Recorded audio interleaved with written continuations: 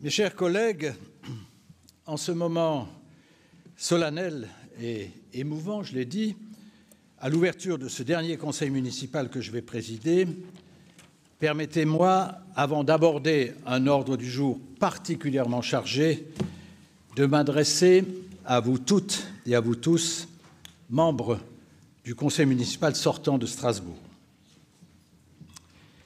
Mes chers collègues, dans quelques semaines, j'arriverai au terme de 37 années de présence dans notre conseil, dont 15 ans en tant que maire de Strasbourg, 8 comme premier adjoint et 13 ans comme conseiller municipal d'opposition. Je voudrais naturellement remercier les Strasbourgeoises et les Strasbourgeois de m'avoir accordé leur confiance à l'occasion des deux élections municipales de 2008 et de 2014. J'insiste sur ce point car l'élection de 2014 validait en quelque sorte celle de 2008 et donc mes orientations et ma vision de la ville et m'invitait à poursuivre dans la même direction. J'espère avoir été à la hauteur de leurs attentes et leurs aspirations, même si, bien sûr, tout est toujours perfectible.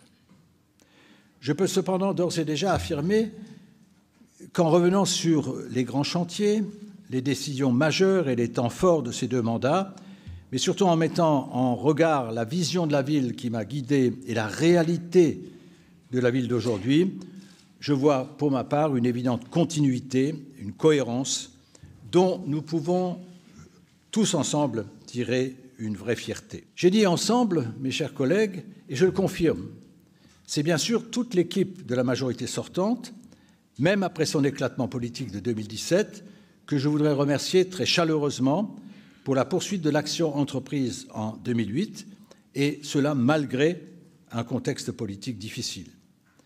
Mais je souhaite inclure dans mes remerciements les conseillers d'opposition, car la critique, la remise en cause et l'interpellation, même lorsque celles-ci peuvent sembler injustes, contribuent en fait à la vie démocratique de notre Assemblée.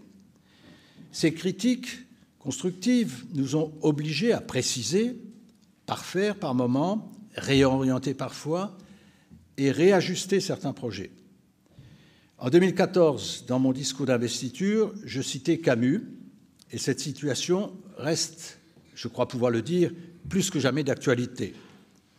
Je cite Camus, La démocratie, dit-il, fait de chaque citoyen celui qui admet qu'un adversaire peut avoir raison, qui le laisse donc s'exprimer et qui accepte de réfléchir à ses arguments. Permettez-moi de clore mon propos par quelques mots un peu plus personnels.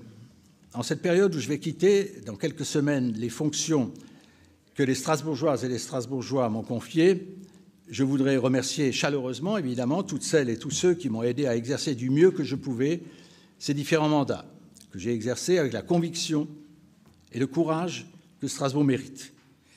Et bien sûr, je pense tout d'abord à ma famille, à Christiane, ma femme, qui est là, euh, qui a été à mes côtés jour après jour et m'a toujours encouragé, conseillé, aidé dans les moments les plus difficiles de ma vie. Qu'elle en soit remerciée. Sans elle, je ne serais pas ce que je suis aujourd'hui.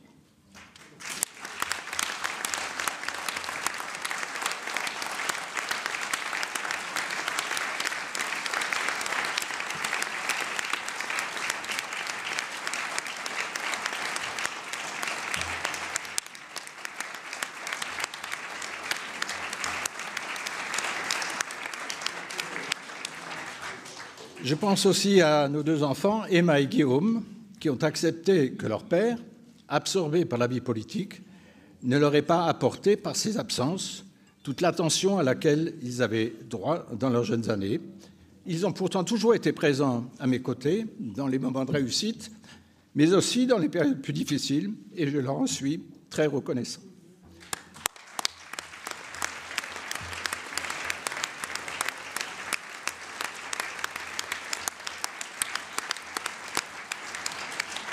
Et je n'oublie pas, bien entendu, tous mes amis et soutiens qui m'ont accompagné tout au long de ma route, mes camarades du Parti socialiste, les amis des diverses sensibilités de la gauche, ou encore les sympathisants de différents horizons politiques, qui m'ont accompagné et aidé tout au long de mon parcours politique. À la veille de mon départ, vers d'autres horizons, encore indéfinis aujourd'hui, j'adresse à chacune et à chacun de mes compagnons de route un salut fraternel, avec la conviction profonde que nous avons tous ensemble travaillé pour l'intérêt public de cette ville de Strasbourg, que dans notre riche diversité, nous aimons passionnément. Merci à vous toutes et à vous tous, et vive Strasbourg.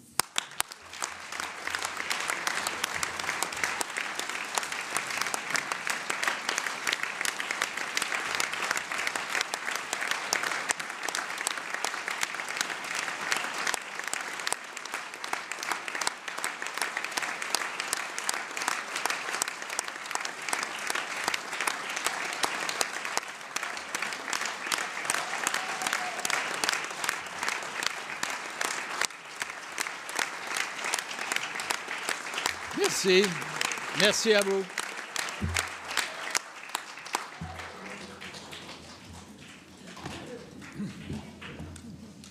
Merci beaucoup à chacune et à chacun d'entre vous pour votre euh, salut fraternel et vos applaudissements. Ça m'est allé droit au cœur.